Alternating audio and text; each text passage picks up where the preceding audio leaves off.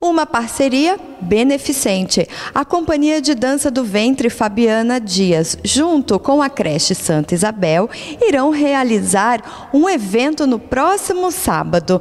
Fabiana, todo mundo já conhece o seu trabalho, Dança do Ventre, e agora você selou uma parceria com a creche Santa Isabel em prol a própria creche, não é isso? Isso. É, elas nos procuraram, né, para que fizéssemos essa parceria já que é evento que tem dança, amor, solidariedade, né, é sempre muito bom. Então vai ser o evento inteiramente beneficente em prol a creche Santa Isabel mesmo.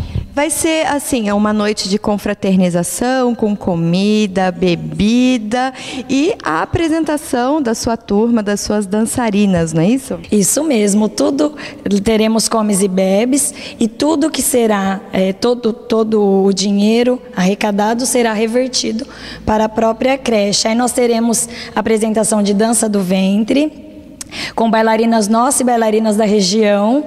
Teremos também dança de salão aqui de Matão. Então vai ser um evento bem gostoso, com muita solidariedade, muito amor e muita dança. E também a, a, creche precisa de produtos de limpeza e óleo. Então essa seria essa seria a, a entrada da festa. Isso, a entrada da festa é um litro de óleo ou qualquer produto de higiene. E o que mais o coração desejar, né?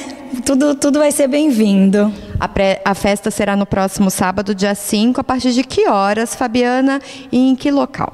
Ó, será a partir das 8 horas, no Salão Paroquial da Pereira, né, atrás da Igreja da Pereira. E estamos convidando todos vocês para estarem lá conosco, prestigiando, comendo uma confraternização de final de ano. Preparou uma apresentação linda e maravilhosa? Bem linda, todas. Estamos nos ensaios, ó, para variar, né? Sempre.